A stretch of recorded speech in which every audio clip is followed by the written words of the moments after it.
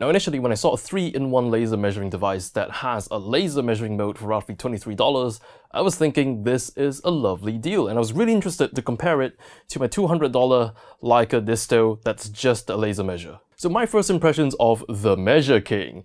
It's huge, it's actually bigger than my analog tape measure, but funny enough, it's actually lighter for some reason, quite a bit lighter. So on the top there is a little backlit screen that shows you the reading, which is pretty good for accuracy and convenience. You can also choose what units you want to measure in, and you can also choose whether or not you want to include the length of the device itself in the final measurement. So there are three ways you can measure using this thing two of which are actually really, really good.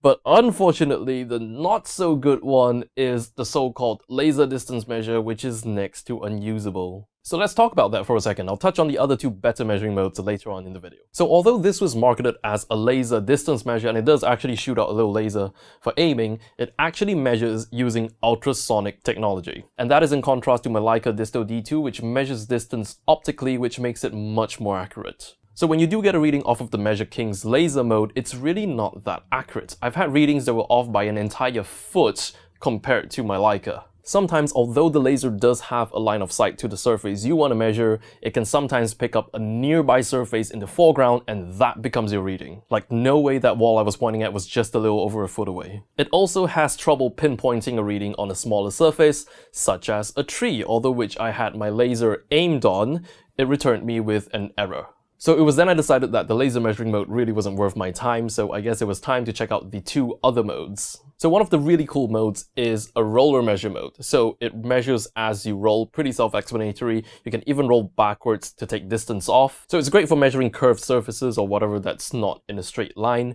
And I found this mode and the next mode to be really quite accurate. So the next mode is really like your traditional tape measure mode, except it's a string. So you can use it like your conventional tape measure, but instead of having to struggle to read a scale, you can just glance at the screen, which flat out tells you what's you're reading. But because it's a string, you can wrap it around things to measure circumference, and I also realized it makes for a pretty good waist measure. So that's pretty much all I have on the Measure King. I did think $23 for a laser distance measure was a bit too good to be true. I guess that's why people still buy these things. But if you pretend the laser measure function never existed and you use it for just the other two modes, it's actually a really neat gizmo. So I'll leave a link to this item in the description below for those of you who are interested. Hit me with any questions or comments you may have.